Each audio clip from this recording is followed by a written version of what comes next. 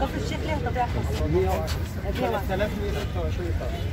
110 إيه 3000 110 مدرسة ب 3000 160 آه، في كفر الشيخ ليها طبيعة خاصة في طلبة في تعليم مجتمعي ولكن في ست سنين لأن بعض القرى الصغيرة ما فيهاش مدارس فالأهالي بيطلبوا إن الطالب يدخل تعليم مجتمعي عشان يتعلم هنا وعشان يبقى فيه مساعدة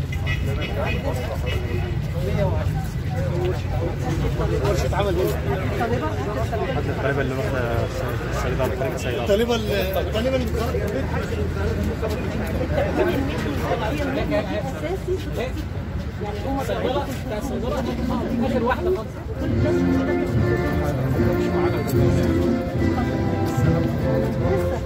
ابني وقف هم بيجربوا باين خلاص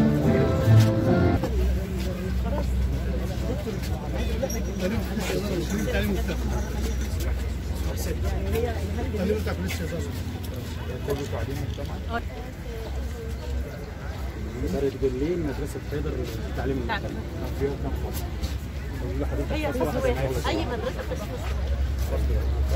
في سبع مدارس في أنا دخلت اماكن فيها أكثر من فصل بس أنا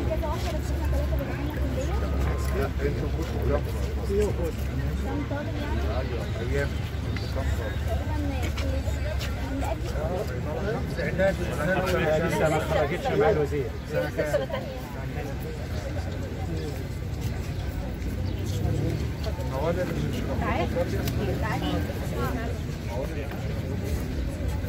منهج التعليم هو نفس الفوزية هو الفصل المجتمعي اللي هو قدام المدرسة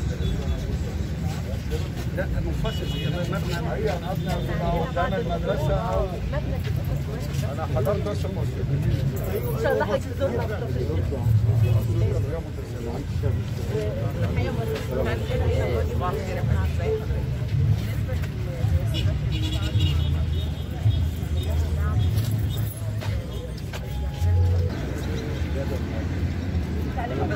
يعني في تدريبات فنيه وفي تعليمية وانظمه تعليمية. بيتعاملوا مع غير الطلاب العاديين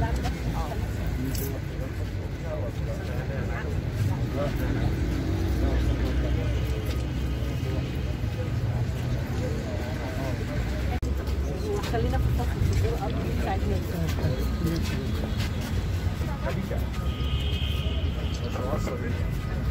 بتتعامل مع مين في المتوسط؟ واحدة عايزة تبتدي تعمل مشروع بعد ما تتعلم تبدأ بقى تبتدي لأهل القرية. تروح لي مثلا تروح تعلم هو ده بقى اللي أنا مش عايز أسمعه. إحنا في حاجة اسمها مشروع جوه المركز. يبقى ما هي بيد- مركز لك بيد- تعليم بيدي بيدي قروض لل- للمشروعات دي لازم ده تابع للتنمية المحلية. بالنسبة إحنا يعني وجهيه للتنمية المحلية للمركز. كل مركز فيه مشروع. بالنسبة لنا إحنا إحنا يعني. مش هتعمل هي قصة إنه العزبة مش هيعمل. الشاب ولا الشابة اللي عايز يروح لغاية المركز. يتعامل بيدوله قرض. تنمية من ديار بالظبط كده. زي ما إحنا بنعملها بنسوق الحاجات دي بسوق القرية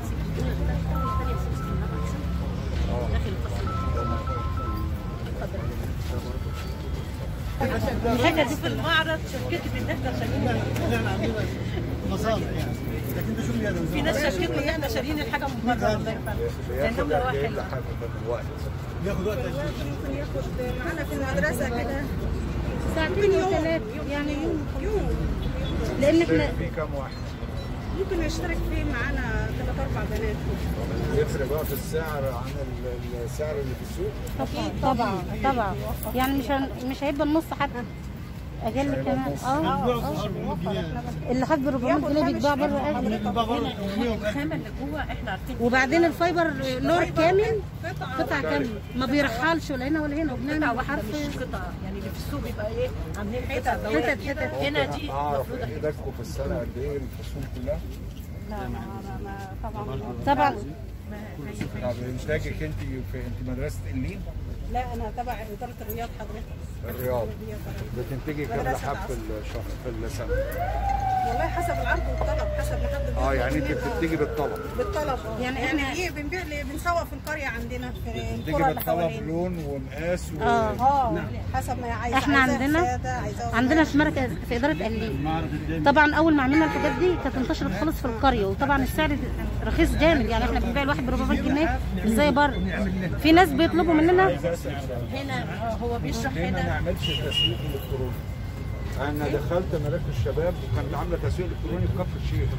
بدل أنا عندي حاجة وبتتباع بسعر رخيص أعمل لها تسويق إلكتروني. على فكرة حتى القرى دلوقتي بقت بتدخل على الإنترنت. هنعمل ده في ممكن المعرض. نعمل داعم إن شاء الله. يعملوا يا فندم ونفس الولاد. يبقى فيهم حد هو اللي بيسوق لهم. هو هيبقى فيه داعم مننا علشان هم بيبقى مشكلتهم الخامات الخامات ما بيلاقيش فبيضطر يستنى واحد عايز هقول ياخد آه التسويق الإلكتروني ليه فايدة. أنا عايز تمام. تمام؟ ادخل وانقي وأقول أنا عايز إيه.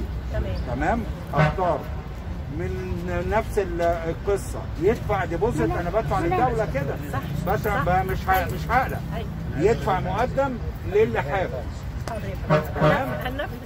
وبعد ما يخلص يا يجي يستلمه يا تضيفي عليه رسوم شحن شوف انت وف- ده اشتغلت إيه في الحاجة.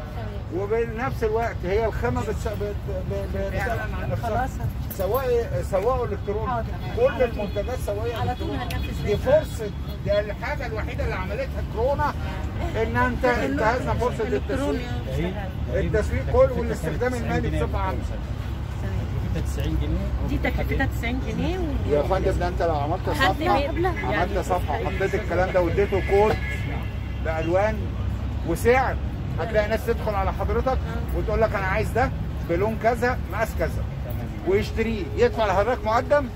هو كده دفعه للتعليم. هي دي دفعه لمواطن بقى ممكن يحصل تداعيات. تمام. معايا يا فندم؟